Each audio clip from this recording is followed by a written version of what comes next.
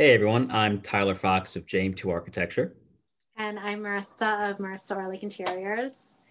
And today we are going to be discussing where do we get our inspiration for creating new spaces and how do we design a room? So, Marisa, tell us a little about your inspiration process. Sure. So, my inspiration uh, comes from color. I do a lot of design with color and I really am inspired by nature. So if we're in an area where there's beautiful greenery or they have a beautiful backyard, I'm trying to bring the inside, the outside in.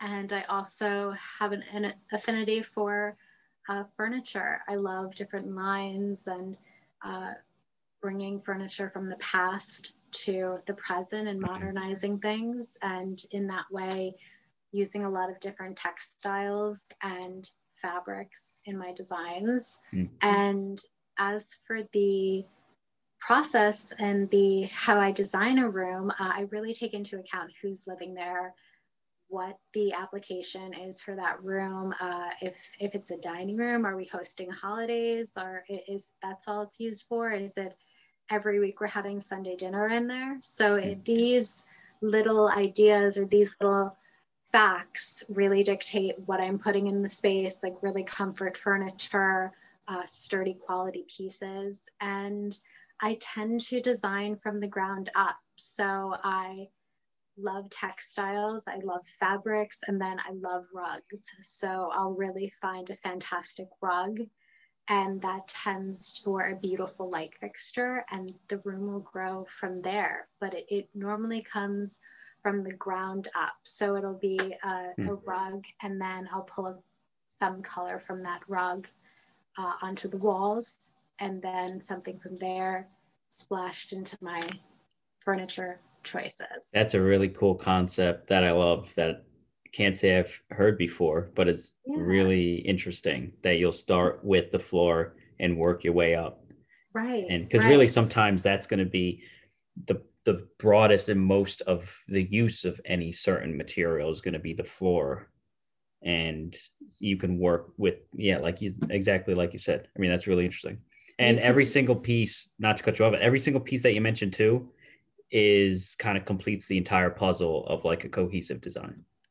Right right. And lots of different things different marks you have to check different boxes you have to check in every room. Like it's it's a, it's a box and in every room we need the floor we need the paint colors we need the lighting we need the furniture like it's it's every checklist every mm-hmm. room. So what about yourself? How do how do you enjoy to architecture? Yeah.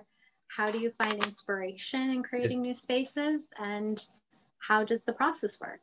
It's interesting that with with someone like yourself and an interior designer you're working within the parameters of a space and the mm-hmm. geometry of a space. We're creating that geometry. So my inspiration will come from and i'm a math guy so i've always loved geometry and shapes and you know those kinds of things proportions. So when we're working with an existing building we'll look at the general proportion of the home on the site for doing an addition the geometry of the property if mm-hmm. we're doing a new building how that's gonna because really that's gonna dictate the build the overall envelope of the building anyway so we'll be inspired and sometimes it can be almost like uh, not necessarily inspiration but it's sometimes it's a little forceful because of it's just the nature of the way it is but you use that as inspiration and as a positive to kind of tell the story of, of the design mm-hmm. um, and if we're working with you know a, a residential um, you know home and it's in something like a historic neighborhood which i'm sure you work in in so many historic neighborhoods and mm-hmm. there's maybe an architectural review board. They're gonna they're gonna have their own say in what they want the home to look like. Maybe you have to be inspired by the surrounding neighborhood. You know maybe if it's um you know in in something like new york city it needs to match a certain period of time and match the surrounding buildings Sure. Um, so you look at the neighborhood and the surrounding architecture for inspiration. And even more, sometimes the homeowner or the client have inspiration or ideas themselves that they'll bring to you and as a, as a starting point, which certainly helps. And then when you have you know ground up buildings like something like unique fitness that we did in a large commercial building mm-hmm. you, you take inspiration from their branding and their logos and then the overall concept of what is a gym you know you think of like strength you, t- you think of like stone or hard materials something very mm-hmm. grounding so that's how you really start to start that process but um but yeah anything else to add i mean I, that's pretty much my no it, it, it's very true you know it's it's fascinating when you're working with historic places and you know yeah. you really have to take the respect of the past into mind and consideration. And and like you said in doing some designs uh, every client you work with is different and everyone has a different approach to this. And some are really involved and some really want you to use this piece of furniture that's been passed down and your mm-hmm. you, that's your inspiration for the room where yeah. that or this view is dictating mm-hmm. the positioning of the new space of, of the building you're constructing we want to focus on this view and we yeah. want you to create a building around it so it's it's really interesting how everyone gets their inspiration for spaces. Yeah, and almost like every conversation or topic that we discuss, it's really so dependent on the client and the project and the location and just the overall experience of being on the site and mm-hmm. so many factors. But again, it all comes together in the end. So, yes.